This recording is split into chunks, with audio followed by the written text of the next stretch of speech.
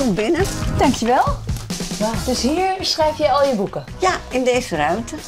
Daar schrijf ik. En hier tik ik het uit als het zover is. Je schrijft het eerst allemaal met de hand. Ja, met de pen, joh. Met deze pen.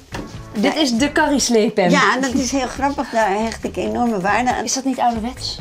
Denk het absoluut, maar ik vind het heerlijk om met de pen te schrijven. Dan heb ik veel meer contact via mijn hoofd, mijn arm, met dat papier. En het resultaat mag er zijn, want dit zijn denk ik al jouw boeken. Ja, allemaal met de hand geschreven. Grappig, hè? Ja. Zullen we naar jouw echte huis gaan? Ja. We gaan daar, gaan we verder. Dat is goed. Dat is goed. Nou, laten we beginnen met de eerste kindervraag. Ja, ik ben benieuwd. Mijn vraag is, wat wil jij vroeger worden? Doei! Ik wilde schrijfster worden. Meteen Toen ik- al? Ja, toen ik heel klein was, toen hield ik al van boekjes maken. Ik zat altijd op mijn kamertje te verzinnen. En dan plakte ik van die boekjes. En dan zette ik mijn poppen en mijn knuffels om me heen. En eh, dan zei ik, allemaal in de kring, ik ga nu voorlezen. En denk erom, jullie mogen er niet doorheen praten, want dan houdt Carrie Slee onmiddellijk op.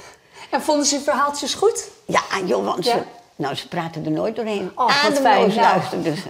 Je hebt nooit getwijfeld om, om iets anders te worden. Ik vind het zo'n mooi beroep. Ik zou het weer willen. Als ik nog een keer geboren zou worden, je weet maar nooit, Ja? zou ik er weer voor kiezen. Ik ga elke dag met plezier mijn werkkamer in. Het is nooit dat ik denk, eh, dat gaan we vandaag nou mee doen.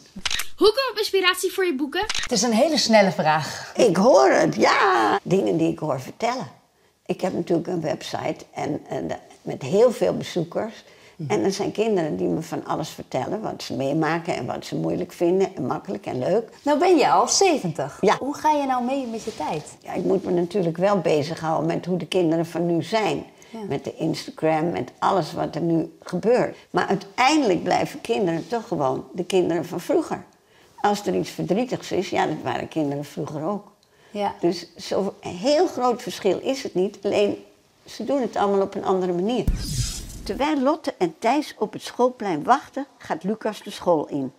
Hij vindt het best eng om de kamer van juf Braaksel in te gaan. Het zijn soms best heftige onderwerpen waar jij over schrijft. Soms wel zielige onderwerpen Ja, ook. meestal zielig. Moet je ook zelf wel eens huilen tijdens het schrijven? Ja, absoluut. Ja, ja, vaak hoor. En dan schaam ik me altijd een beetje. En ik schrijf natuurlijk met pen. En ik heb dat ik wel eens moest huilen bij een boek. En echt erg. En dat het helemaal uitliep. En dat ik eigenlijk heel moeilijk nog kon zien wat ik had geschreven. Dat, Dan was helemaal- heel zielig. Ja, het was heel zielig. Ja. Hallo. Lees je de hondjes ook voor? Nee. Oh. Nee, dat doe ik niet. Nee, een muis? Nee, wij lezen niet. Hey, Carrie Slee. Hoi. Wat vind jij het leukste boek wat je zelf hebt geschreven? Nou, waar ik heel trots op ben en altijd van denk, ja, dat was echt eh, wat ik wil vertellen, is spijt. Maar nu ik weer zo'n nieuwe serie ben begonnen, ben ik daar weer heel erg trots op. Het nieuwste Van je boek. braaksel. Ja. Ja. Het nieuwste boek is eigenlijk altijd waar ik het meest trots op ben. Hij voelt zijn hart bonken als hij de deur openmaakt. Hij schiet naar binnen en kijkt om zich heen. Waar is de jas?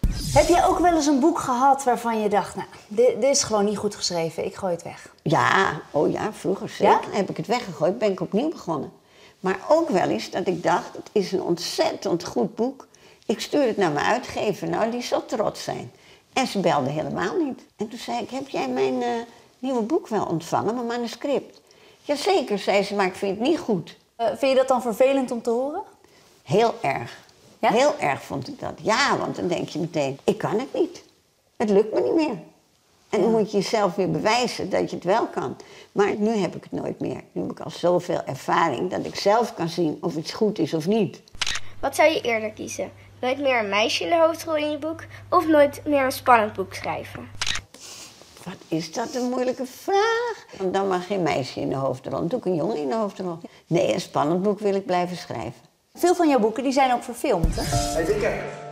Poëtietjes.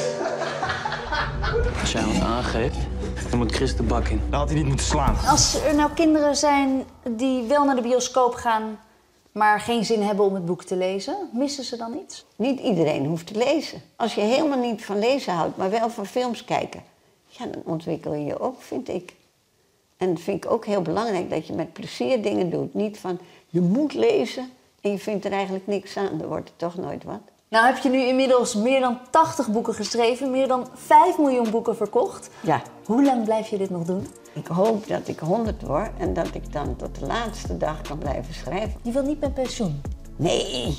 Oh, Nee, oh. nee, nee, nee, nee, veel te saai. Wat ga ik dan doen? Ik zou niet weten wat ik, wat ik moest als ik het niet meer zou mogen of kunnen.